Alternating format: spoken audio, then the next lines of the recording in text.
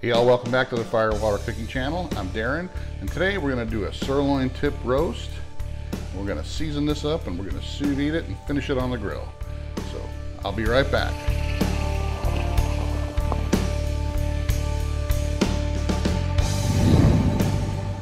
Guys, I'm back. Um, our local supermarket was actually having uh, a sale on the sirloin tip roast the other day for $2.99 a pound. And I got a rather large one. This one's close to five pounds, so it was about 15 bucks or so. But um, it was already pre um, tied up, so I didn't have to do anything with it. I just took it out of the package. And we're going to use some Runnin' Wild beef rub. Uh, they're actually their premium gourmet beef rub is what we're going to use. I've used this a couple times already. It's got a really good flavor to it. It's a little bit um, it's got more uh, layers to it than my normal beef rub that I use, which is just salt, pepper, and garlic. So I like to use this every once in a while just to change it up. But um, I'm going to go ahead and season this up, and then we're going to throw it in the uh, bag and put it in the sous vide. We're going to cook this for 48 hours at 134. So I'll be right back. All right, guys, I'm going to go ahead and season this up now.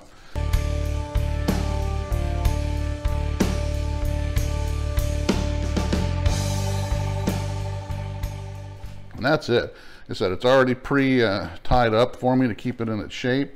I'm going to go ahead and throw it in the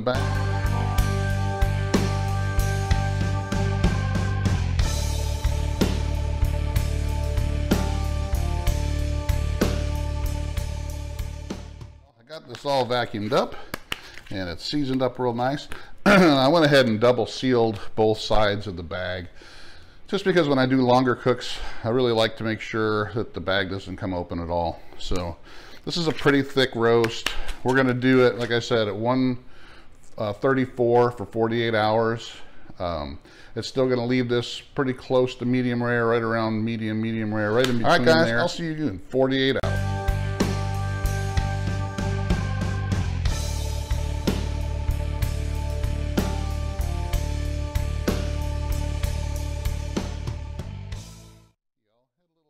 Plans. The uh, roast is almost done. Been in there almost 48 hours.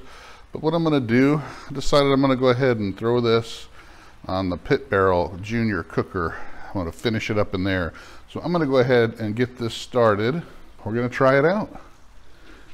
And there's the pit barrel junior. And if you take a look down in there, I got my charcoal already. It's in there ready to go. So as soon as this gets up and gone, know, ready to go, we'll get going.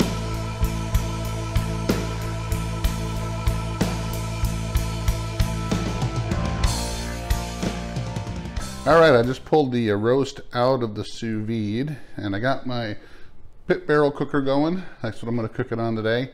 Um, that's probably gonna take about a good 15 minutes before that's up and uh, the temp's up and running. But since I'm doing that, instead of using that gourmet uh, beef rub from Running Wild, I'm gonna try this pit barrel cooker rub that they sent with the pit barrel and see how it's a it's their beef and game pit rub. So I'm gonna use that to season this up today. Get my tongs out.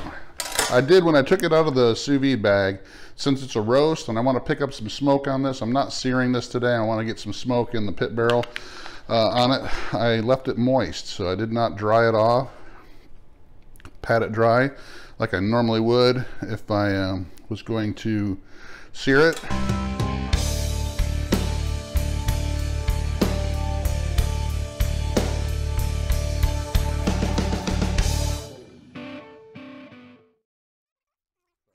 Go ahead and throw the roast on now. I got the rack in the uh, pit barrel so we're going to be using, not hanging it today on the hooks.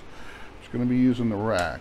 So just going to go ahead and put that right in the middle of the rack. I'm going to stick my meat probe in there. We'll make sure the meat probe's not touching the top. So I'm going to go ahead and let this uh, roll for a little bit. I'll keep an eye on that internal temp. Make sure it doesn't go any farther past 138 on about 15 so. minutes or so. And the pit barrel's sitting right around 340.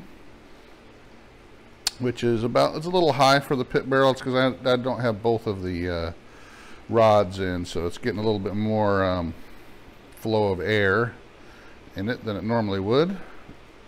But the uh, you can see the temp of the roast is still sitting at 127. So it hasn't even climbed back up to the 134 yet.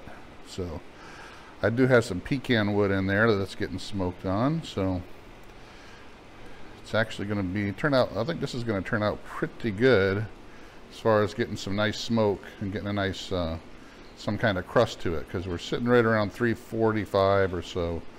Um, 345. Hopefully get up to like 350. that'll be decent to get a nice crust on it.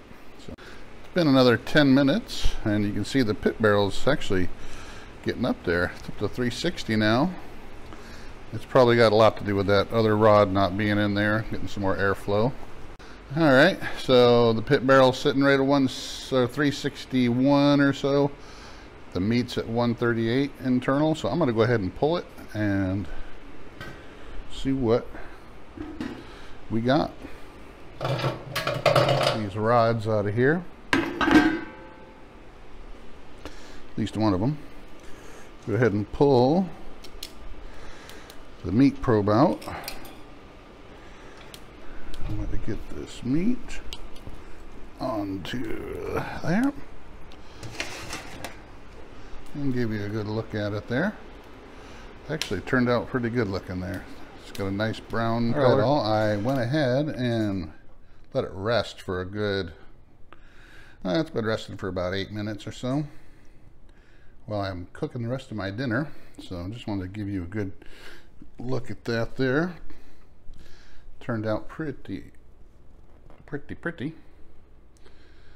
Got a nice color to it. It's uh, got a nice little crust even though it wasn't seared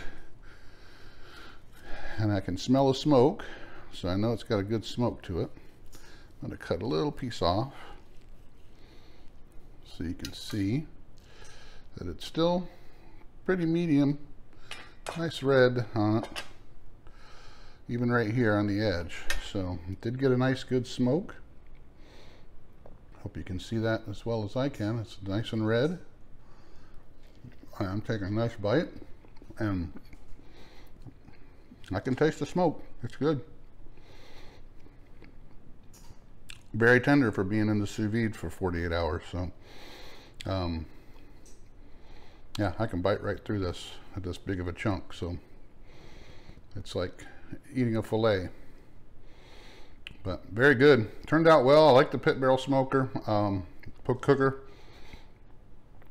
Uh, I did have it a little bit running a little bit hot tonight but I did that on purpose because I wanted this to get a little bit of color to it.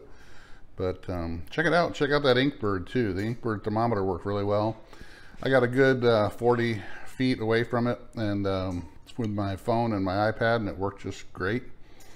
Um, I've measured the temps on it before and it's pretty good. So there you go folks. Nice um, sirloin tip roast.